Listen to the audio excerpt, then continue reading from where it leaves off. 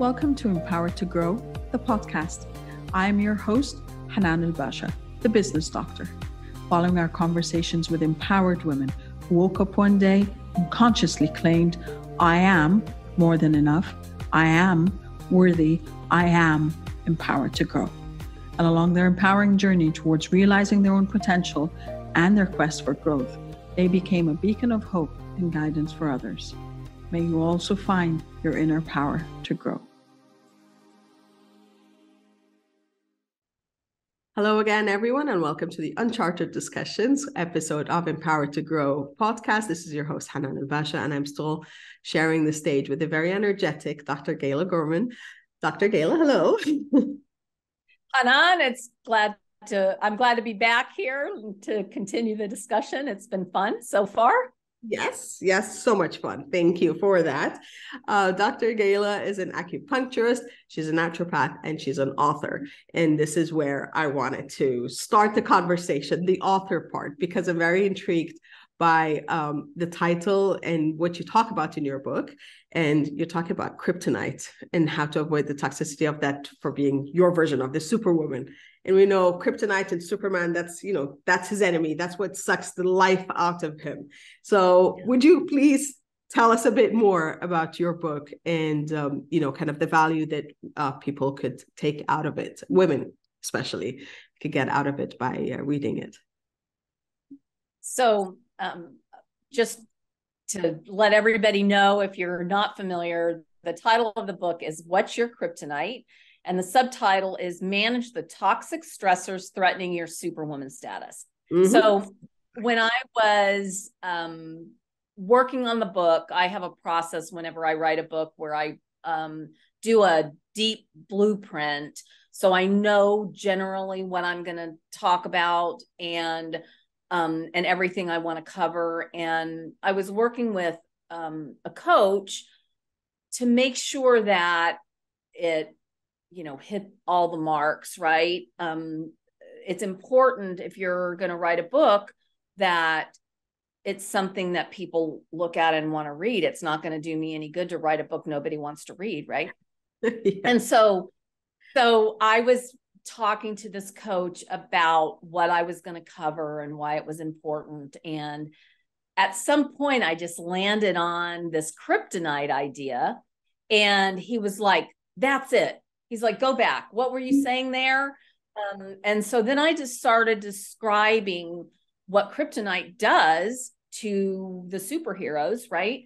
And um, and started tying it all together. And so it just ended up on the cover, right?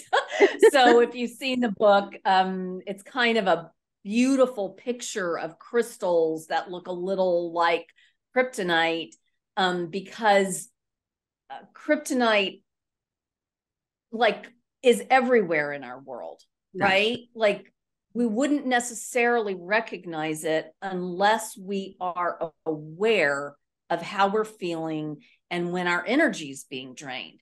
And so, one of the things I um, share is that, like, for Superman or Superwoman, often they they're not just staring at the kryptonite. They're not saying oh there's kryptonite. Oh let's wait and see if it's going to drain my energy. What's yeah. happening is their energy's draining and they're saying something's draining my energy. There's got to be kryptonite around here and. I've got to like track it down before it totally takes me out, right? Mm-hmm. So um so I think that's just such a fantastic analogy because our our human battery just gets drained little by little mm-hmm. and as we start to recognize that um, we were talking earlier about yeah. this, you know, kind of spring in our step that we want to maintain, right? When we start realizing that that little spring in our step is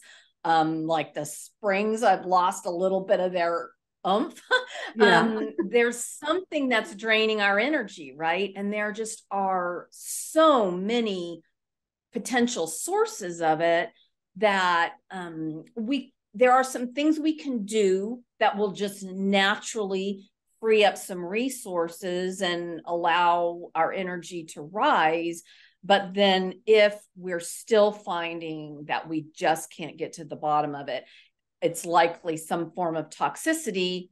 Yes. And I evaluate 12 different categories of toxins. So, toxins are a super broad subject that we really could never cover in exactly. the time we have here. But um but just know that it's a big problem and if if you're feeling that your energy is being drained by something, don't ignore it. Don't just drink another cup of coffee and try to, you know, yeah. artificially boost yep. your energy. Yeah. yeah, get to the bottom of what's draining your energy. What is your kryptonite? That's exactly it. And I think this was one of my biggest lessons through the health coaching journey. And I think it's still ongoing because it's opened up so many doors for me and changed the way I think. And it was always about masking the symptoms by, you know, the, mm-hmm. the bandages and stuff and just hoping will go away whilst you're actually got a gushing neck wound underneath there and thinking that bandages are just going to just kind of mask it for some time and just take care of it. And you've got to do the work at a point in time. You've, you've got to stop. You've got to take the time out. And you've got to clean out that wound and you've got to sew it up and you've got to nurture it back to life. And i think i was talking yesterday actually um, on a talk just about that topic just saying that you can ignore it for as long as you want but at a point in time it's going to catch up as you said it's the kryptonite it's going to deplete you it's going to bring you down and you're going to have to stop. And that time, it's not going to be a choice, it's going to be by force. And I think for women, because I know this was part of my story, was, oh, no, no, um, you know, and I, I used to actually get the, um, the title superwoman from people I meet. You know, I wake up at five o'clock in the morning and take my son and stuff. And I used to be proud. I was like, yeah, of course I'm a superwoman. You know, I'm yeah. doing this. I'm I'm on duty. I'm on the go, 20 hours a day, whatever it is. And and I was proud of it. And I hadn't realized that that in itself was draining me because I never stopped. I was always deprioritizing my health and my wellness and time out and all of this, just saying, I can't afford that time. Um, yeah. Until there's a lot of people, there's a lot of people depending on us maintaining our superwoman status, exactly. right? Exactly. And so, you know, at a certain point, um, you won't be able to maintain your superwoman status unless you take care of superwoman. Yeah.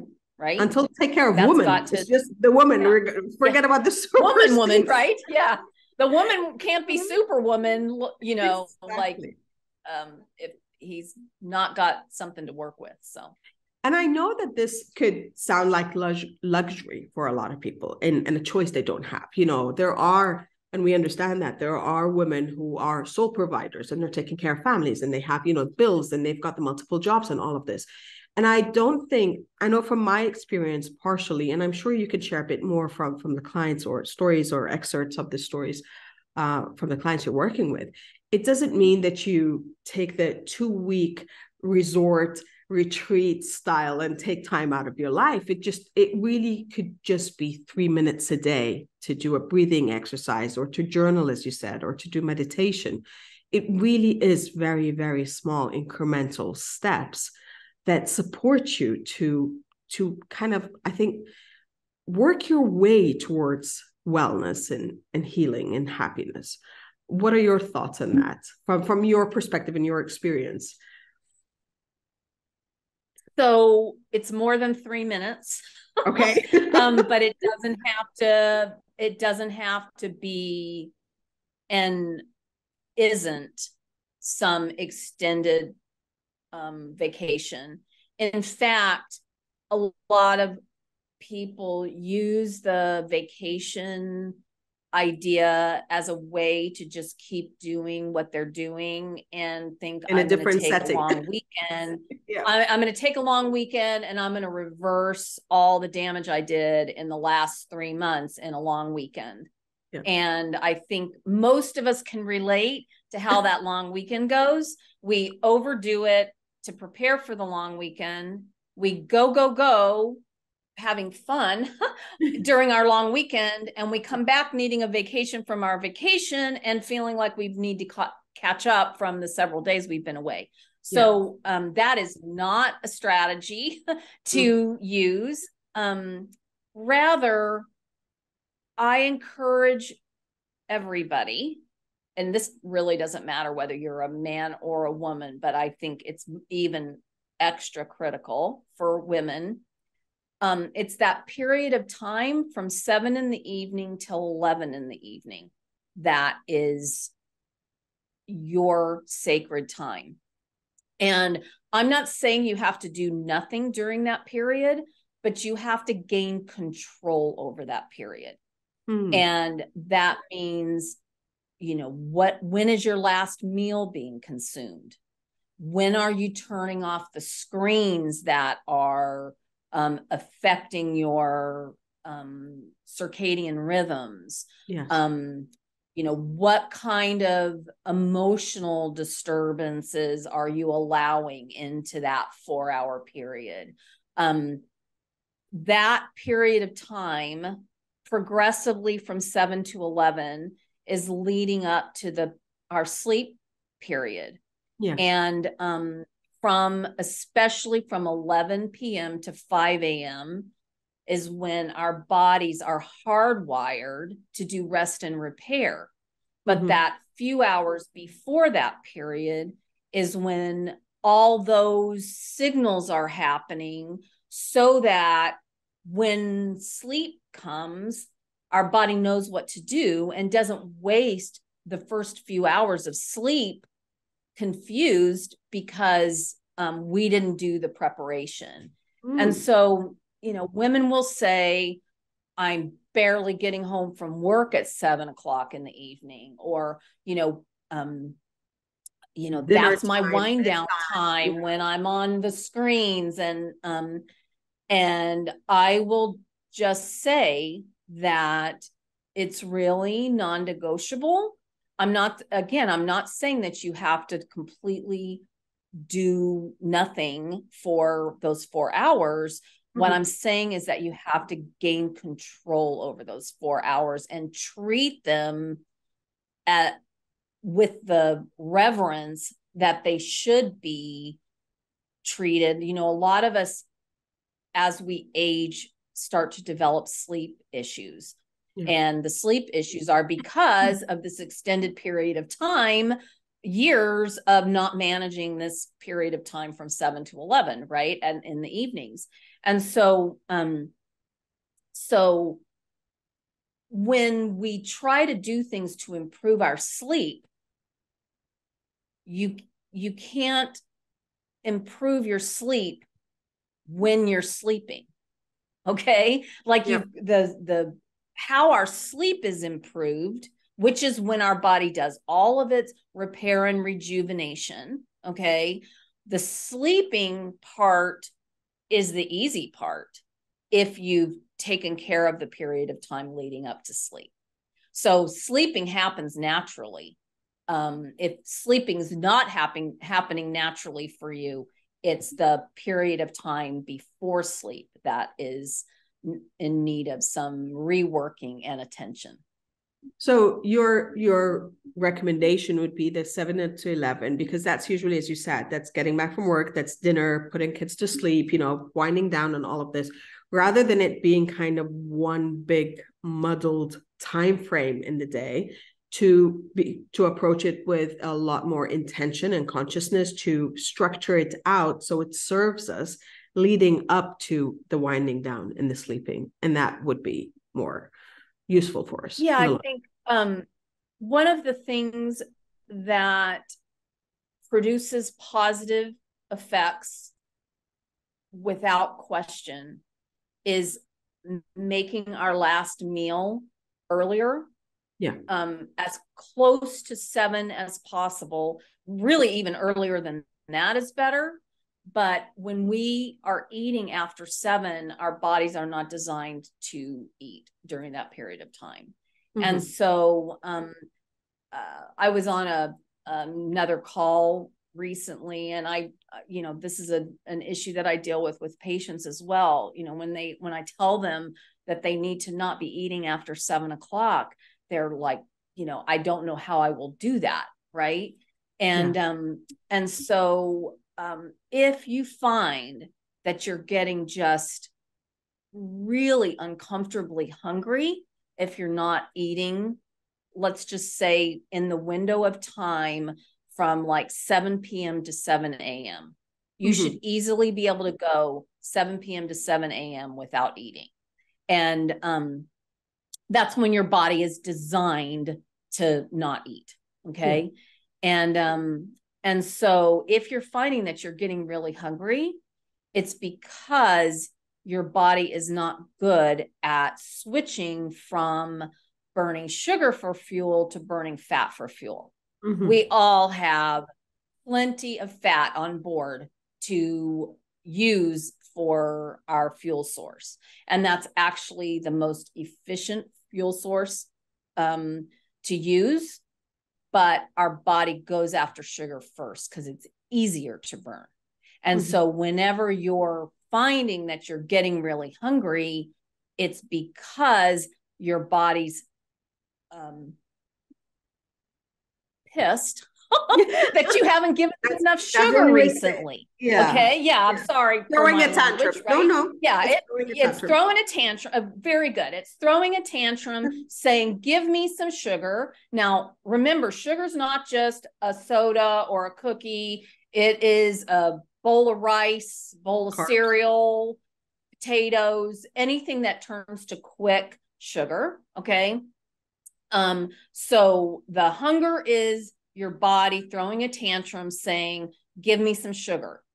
If you can find some ways to kind of soothe yourself through the transition period and in the beginning when you've trained your body to run off of sugar that is kind of a challenge yeah. but um, if you if you find some ways typically you can drink some hot tea or you know um, herbs i'm drinking herbals yeah now. yeah and so that will help to sort of soothe yourself through that period of time right?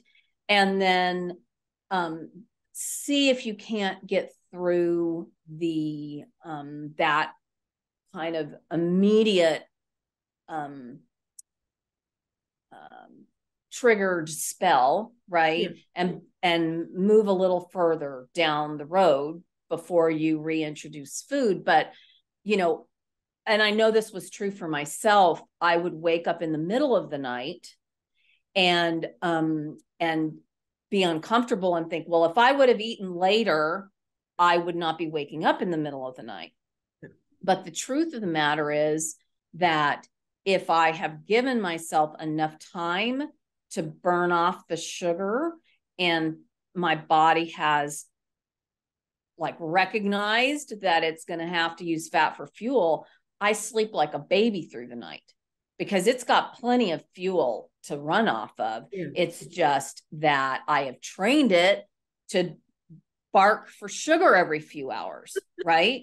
So yeah. then you wake up in the middle of the night and you're like, wow, I should have just eaten, uh, topped off the tank uh, before I went to sleep. And, um, and that just is a, um, um uh, long term accumulates ill effects. Yeah, I love that.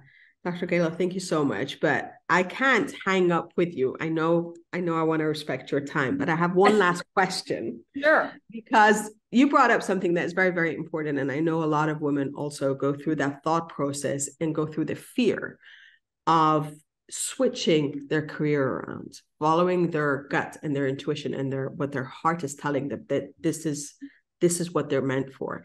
And you spoke of um, switching from a career that was over nearly 20 years in accounting and being a CPA and having your own practice and office, um, and into saying, I'm going to work on wellness and I'm going to approach it from a different perspective, taking care of women. Can you kind of just share some of them? I want to say, not necessarily the thought process, but what were the fears and what were the motivations you were going through then to be able to say, I can do this and follow through? Uh, that's a, a really great question. And I can tell you that just like anybody else listening to this, the transition through that period was um, really rough. Let's just call it that. Um, I, in the couple of years leading up to that, I had been feeling more and more like something had to give, something had to change. I knew I was being called to something different. And, um, and, you know, I had an accounting firm with, you know, a dozen employees, a partner. Um, uh, we were well respected in the community. Um, there was nothing wrong with yeah. my work situation other than the fact that I had this discontent that was just growing by the month. Mm-hmm. And um, and so in 1997, I went on a let's call it a spiritual retreat. I went to Brazil for a few weeks. Yeah. And I can remember sitting there thinking, you know, there's nowhere else I'd rather be. Mm-hmm. And my life will never be the same.